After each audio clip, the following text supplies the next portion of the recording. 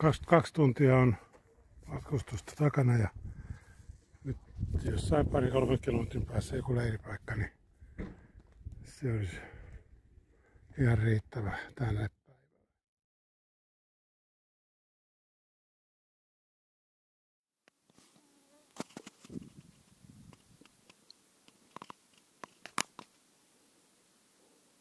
Tästä jatketaan Näätämöjoelle ja sitä kautta sitten polkua pitkin Savuslammille ja sieltä pitäisi löytää seuraava leiripaikka.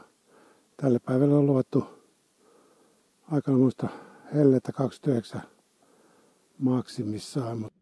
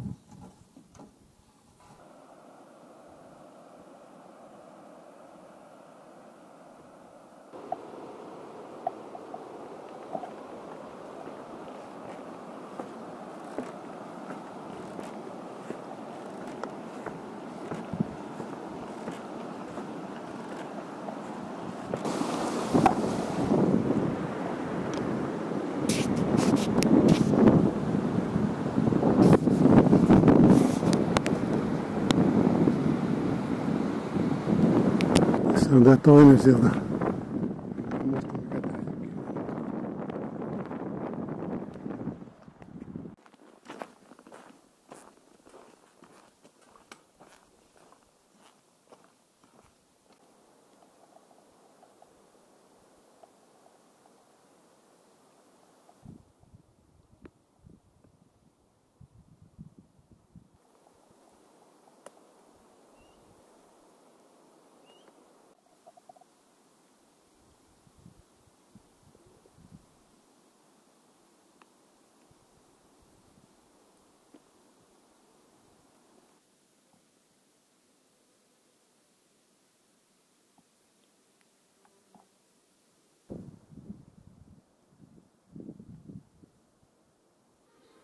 Seuraavaksi Huikkimajoen suuntaan. Siinä on Roussajärven autio tupa välissä ja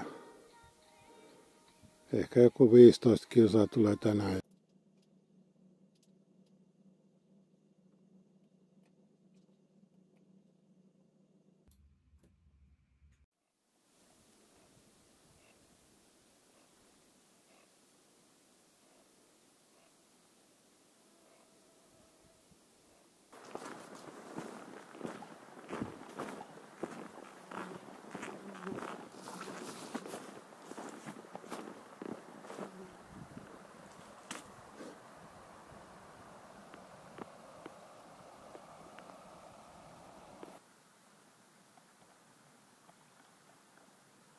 On tosi alhaalla, mutta onko niin alhaalla, että tästä pääsee vaelluskeinillä. Tuossa voisi olla pieni mahdollisuus. Yritetään kastua ei On melko liukkaat ne kivet sinne nousta leveä päällä.